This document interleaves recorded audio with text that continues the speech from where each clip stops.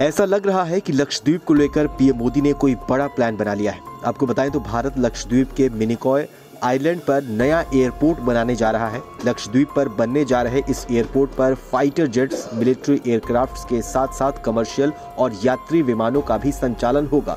सूत्रों की माने तो लक्षद्वीप में बनने जा रहा ये एयरपोर्ट डुअल पर्पज एयरफील्ड होगा, जहाँ से फाइटर जेट्स का संचालन तो होगा ही। इसके अलावा यहाँ पर आम नागरिक विमान भी आ जा सकेंगे।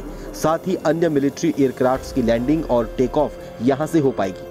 आपको बताएँ तो इससे पहले सिर्फ़ मिलिट्री इस्तेमाल के लिए एयरफील्ड बनाने का प्रस्ताव सरकार के पास भेजा गया था, लेकिन अब उसे अपग्रेड करके डुअल पर्पज एयरफील्ड बनाने की तैयारी भारत के द्वारा की जा रही है। अगर यहाँ पर एयरफील्ड बनता है तो भारत, अरब सागर और हिंद महासागर में चारों तरफ़ कड़ी निगरानी रख सकेगा। समुद्री लुटेरों की कार्रवाई पर विराम लग सकेगा। लक्षद्वीप को लेकर भारत की नई स्ट्रेटेजी ने न केवल चीन और पाकिस्तान जैसे दुश्मन देशों, बल्कि एशिया के कई छोटे देश जिनकी अर्थव्यवस्था टूरिज़्म पर निर्भर करती है, ऐसे देशों के होश उड़ा दिए हैं। इसराइल की मदद से भारत लक्षद्वीप में खारे पानी को मीठा बनाने के लिए प्लांट लगाने जा रहा है।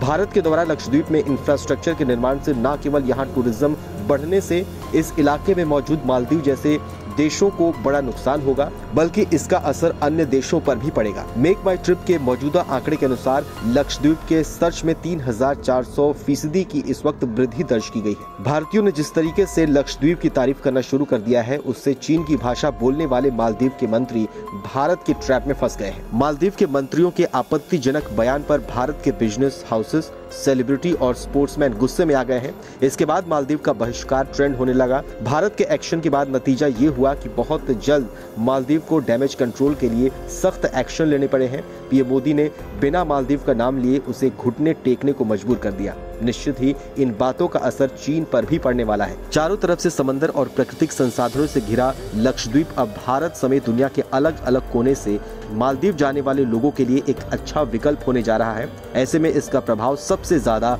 मालदीव पर पड़ेगा क्योंकि मालदीव की अर्थव्यवस्था पर्यटन पर ही निर्भर करती है। हालाँकि मौजूदा समय में मालदीव भारत विरोधी बयान क्यों दे रहा है और भारत विरोधी गतिविधियों में क्यों शामिल हो रहा है, ये समझना भी इतना मुश्किल नहीं है। दरअसल मालदीव भी चीन के कर्ज में बुरी तरह से फंसा हुआ है। मालदीव में मोइजू के विरोधियों का खुलकर भारत के समर्थन में आना ये बताता है कि इस छोटे से देश में मोइजू भले ही चुनाव जीत गए हो, लेकिन जनता उनके चीन परस्ती से खुश नहीं है।